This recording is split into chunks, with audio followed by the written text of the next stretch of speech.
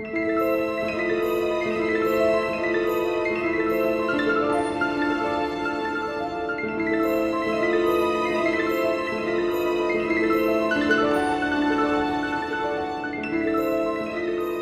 City of Oz. Dorothy. When the people of the Emerald City heard that Dorothy had returned, everyone was eager to see her. She was a very popular personality in the land of Oz.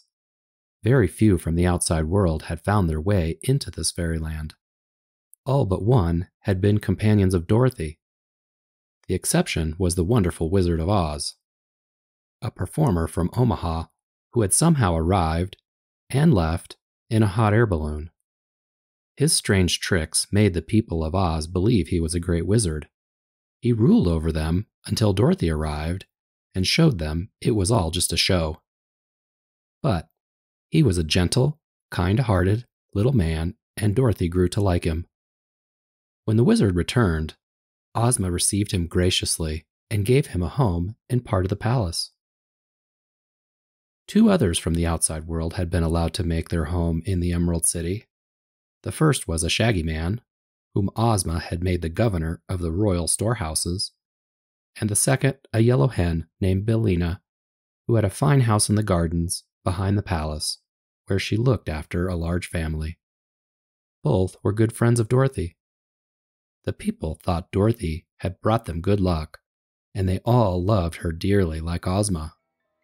During her visits, this girl had killed two wicked witches who oppressed the people, and she had discovered a live scarecrow who was now very popular in the fairy country. With the scarecrow's help, she had rescued Nick Chopper, a tin woodman, who had rested in a lonely forest. The Tin Man was now the emperor of the country of the Winkies and loved because of his kind heart. Yet, Strange as it may seem, she had accomplished all these wonders not because she was a fairy or had magical powers, but because she was a simple, sweet, and true girl who was honest to herself and to everyone she met. In this world, simplicity and kindness are the only magic wands that work wonders. And in the land of Oz, Dorothy found these same qualities had won her the love and admiration of the people. Indeed, the girl had many warm friends in the fairy country. Now, she received a joyful welcome. Although no one except Ozma knew at first, she had finally come to stay for good. That evening, Dorothy had many visitors, and among them were such important people as Tik Tok, a machine man who thought and spoke and moved by clockwork, her old companion the Shaggy Man, Jack Pumpkinhead, the cowardly lion, and the hungry tiger, two great beasts from the forest, who served Princess Ozma, and Professor Wogglebug, who was a remarkable creature and the head of the Royal College. Toto, Dorothy's little dog, was also met with a cordial reception. Toto was a special friend of the Shaggy Man, and he knew everyone else. Being the only dog in the land of Oz, he was highly respected by the people.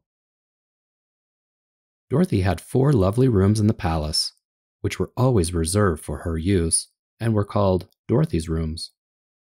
These consisted of a beautiful sitting room, a dressing room, bedchamber, and a big marble bathroom. In these rooms was everything that the heart desired. The royal dressmakers had the girls measure, so they kept the closets in her dressing room filled with lovely dresses of every description and for every occasion. Dorothy enjoyed all of these luxuries. The only reason she had preferred to live in Kansas was because her uncle and aunt loved her and needed her with them. Now everything had changed, and Dorothy was delighted to know that her dear relatives were to share in her good fortune and enjoy the delights of the land of Oz. The next morning, at Ozma's request, Dorothy dressed herself in a beautiful gown of rich silk and wore jewelry made with precious stones. Ozma announced, From now on, you must assume your rightful rank as a princess of Oz, and being my chosen companion, you must dress in a way that fits your position. Dorothy agreed to this, although she knew that neither gowns nor jewels could make her anything other than the simple girl she had always been. As soon as they ate breakfast, Ozma announced, Now we will use the magic belt to transport your aunt and uncle from Kansas to the Emerald City. I think it would be best for us to receive them in the throne room. As you might imagine, they are not very distinguished, Ozma, said Dorothy. They are very plain, like me. If they are your friends or relatives, they are certainly distinguished to me, replied the ruler with a wide smile. I'm sure they will not know what to think of all the splendid jewels and decorations, protested Dorothy. It may scare them to see the grand throne room. Perhaps we should go to the backyard where the cabbages grow and the chickens play. It might be more natural to Uncle Henry and Aunt Em. No, they need to see me in my throne room first, replied Ozma, decidedly.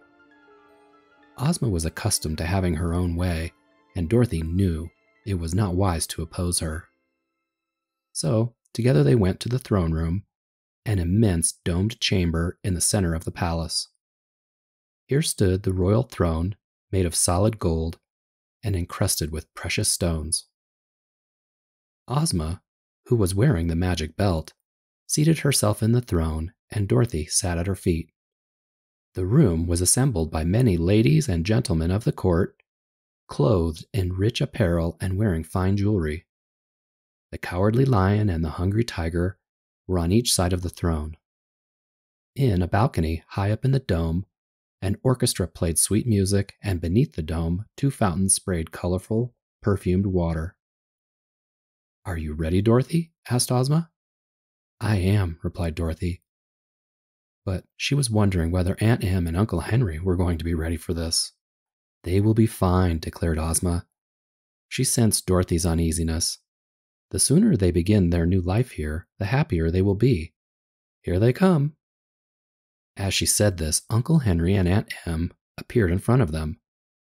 They stood motionless, staring with white and startled faces at the scene. Aunt Em had on her threadbare blue work dress with a faded blue and red checkered apron. Her hair was undone and she had on a pair of Uncle Henry's old slippers.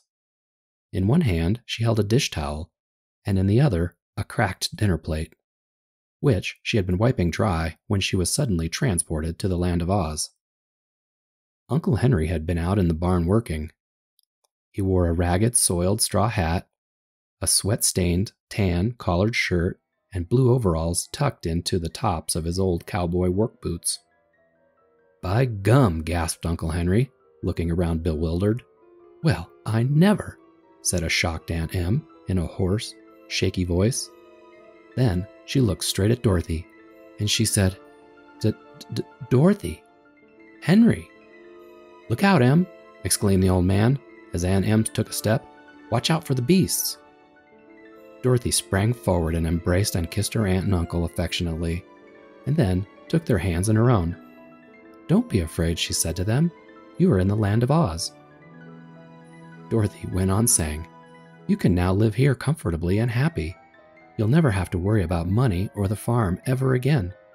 We owe it all to the kindness of Princess Ozma. She led them before the throne and continued, Your Highness, this is Uncle Henry and this is Aunt Em. Aunt Em tried to slick her hair, and she hid the dish towel and dish under her apron while she bowed to the lovely Ozma. Uncle Henry took off his straw hat and held it awkwardly.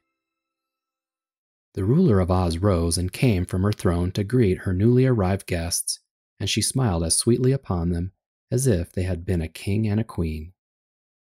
You are very welcome here, where I have brought you, for Princess Dorothy's sake, she said graciously, and I hope you will be happy in your new home.